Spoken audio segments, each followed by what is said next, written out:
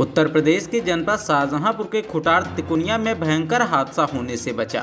अपराहन लगभग एक बजे खुटार तिकुनिया मेन मार्केट में सैकड़ों लोगों के मध्य सैकड़ों की जान जाने से बच गई। आपको बताते चले कि सुरेश नाम के व्यक्ति की दुकान खरी मार्केट के मध्य है। सुरेश ने किसी पात्र में कुछ सामान रखकर गैस चूल्हा जला दिया था।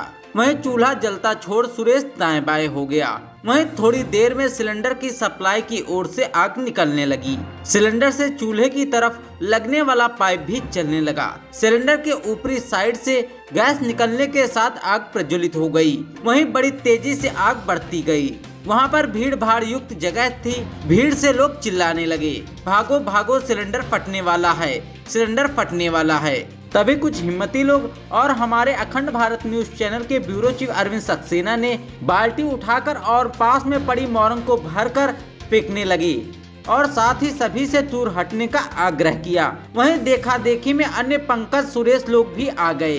वह भी बाल्टी में मोरंग भरकर आग की तरफ़ फेंकने लगे। वहीं एक घंटे की कड़ी मशक्कत से आग को मोरंग से बिल्कुल ढक दिया गया।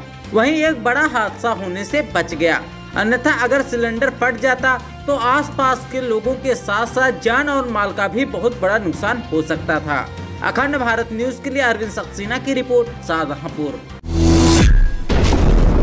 उत्तर प्रदेश के जनपद शाहजहांपुर में दिनांक 9 दिसंबर 2021 को प्रवीण कुमार सोलंकी थाना प्रभारी निरीक्षक कटरा के नेतृत्व में थाना कटरा पुलिस टीम द्वारा मुखबिर की सूचना पर कोरियान मोहल्ले से खुदागंज रोड नहर पुलिया के पास से पुलिस मुठभेड़ के दौरान अभियुक्त कल्लू पुत्र, मोइन पुत्र बाबू, निवासी मुगलान कस्बा व थाना कटरा जनपद शाहजहांपुर अजय पुत्र रामदास, निवासी मुलगान कस्बा, थाना कटरा जनपद शाहजहांपुर को गिरफ़्तार किया गया। साथ ही अभियुक्त सानू मौके से फरार होने में सफल रहा।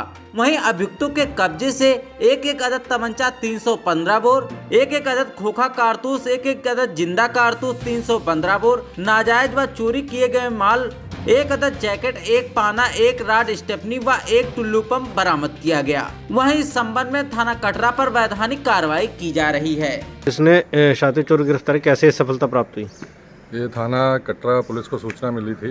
इस सूचना पर घेराबंदी की गई तो पुलिस मुठभेड़ के दौरान तीन अभियुक्तों को गिरफ़्तार किया गया। एक अभियुक्त मौके से भागने में सफल हो गया। इनके पास से तमंचे और कारतूस बरामद हुए हैं।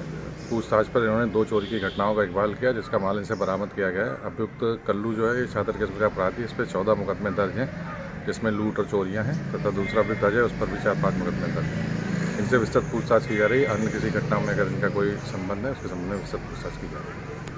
अखंड भारत न्यूज़ के लिए अरविंद सक्सेना की रिपोर्ट शाहजहांपुर।